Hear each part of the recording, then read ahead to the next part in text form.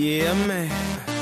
So we back in the club with our bodies rocking from side to side, side, side to side. Uh, thank God the week is done. I feel like.